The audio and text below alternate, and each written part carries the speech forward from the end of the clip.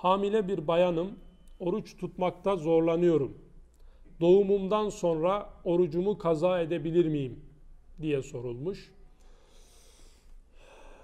Hamile olan bir kişi e, bu daha önce işte bir önce sorulan soruyla irtibatlı bir sorudur.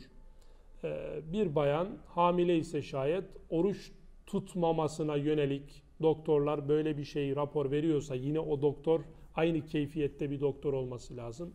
Eğer sen oruç tutarsan gıda takviyesi yapmazsan çocuğun suyu azalır. Suyu azaldığı zaman da ölme tehlikesi riski çoğalır. Veya sen başka türlü şu hastalıklara yakalanırsın, kansız kalırsın. Kansız kaldığında da bunun üzerine şöyle şöyle durumlar terettüp eder diyorsa iman ehli bir doktor, bu kadının da e, tutmama ruhsatı vardır. Hasta kategorisinde değerlendirilir. Fakat sırf hamileliğin oruç tutmamak için bir gerekçe e, olması diye fıkıhta bir şey yoktur. Çünkü hamile olmak oruç tutmamayı iktiza etmez.